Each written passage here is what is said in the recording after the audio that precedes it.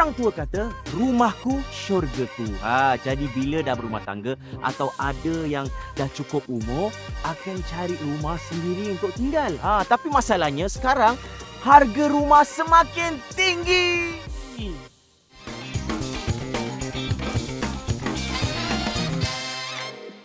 Okey, uh, Cik, saya nak tanya eh, uh, beli rumah atau sewa yang uh, terbaik?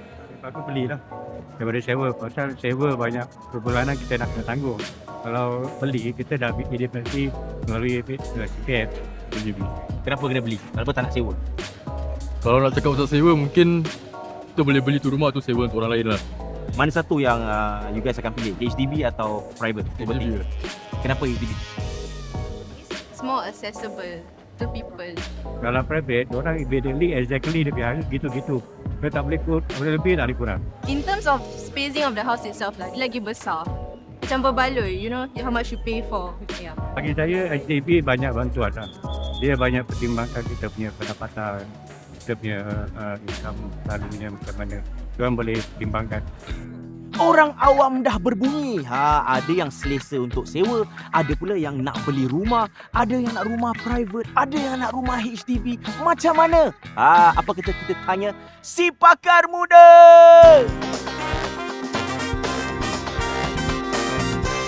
Saya rasa beli lagi bagus uh, tapi of course kita kena tengok orang punya kemampuan lah. Uh, ada yang memang nak support untuk family, tak mampu untuk beli, terpaksa sewa. Jadi saya rasa kalau sewa kira kan kalau sewa from HDB muai lah. Uh, kalau sewa from the open market memang sekarang tengah harga dia tengah tinggi sikit. HDB atau private saya would say tengok apa yang awak punya motif atau apa yang awak punya kesudahan atau apa awak punya target. Ha, jadi kalau HDB memanglah rumah besar and everything tapi kalau nak tengok capital appreciation memang tak ada untungnya untuk beli HDB pasal rumah HDB patutnya uh, untuk semua orang uh, dan kemampuan lah.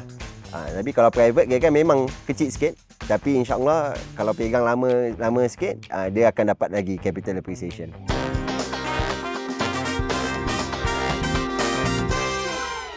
Ha, si pakar muda sudah berkata ha, keputusan untuk membeli atau menyewa dan sama ada untuk memilih HDB atau private sebenarnya adalah keputusan yang sangat peribadi. Ha, yang paling penting pertimbangkan keadaan kewangan anda, pilihan gaya hidup dan matlamat jangka panjang anda dengan teliti.